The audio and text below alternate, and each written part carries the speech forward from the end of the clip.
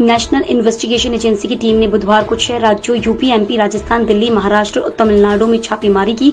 इस search operation PFI के 12 ठिकानों पर चल रहा है। पीएफआई को पिछले साल आतंकी गतिविधियों में शामिल होने के चलते बैन कर दिया गया था। खबरों के मुताबिक राजस्थान के टोंग, कोटा, गंगापुर में एनआईए की टीम ने देर रात दबिश दी है। कई संदिग्धों को पकड़ा है।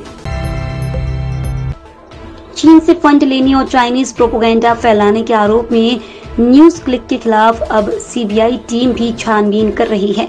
बुधवार को सीबीआई की एक टीम दिल्ली में न्यूज़ क्लिक के फाउंडर और एडिटर प्रवीर पुरकायस के घर गई और तलाशी ली। लगभग आठ लोगों की टीम पुरकायस के घर पर मौजूद थी। टीम ने पुरकायस की पत्नी गीता हरिहरन से पूछताछ की।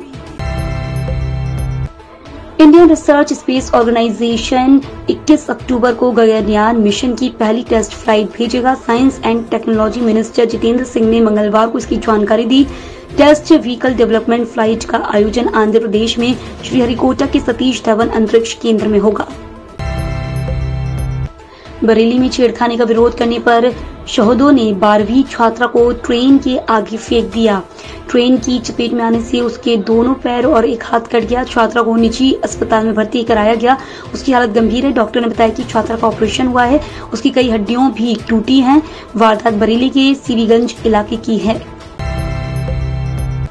एशियन गेम्स में पानीपत की बहु रितु गुलिया की कप्तानी में भारतीय महिला कबड्डी टीम ने चीन में आयोजित एशियन गेम्स में भारत को गोल्ड मेडल दिलाया, जिसके बाद से हरियाणा की ही नहीं, बल्कि हिमाचल में भी खुशी की लहर है, क्योंकि रितु हिमाचल की बेटी है।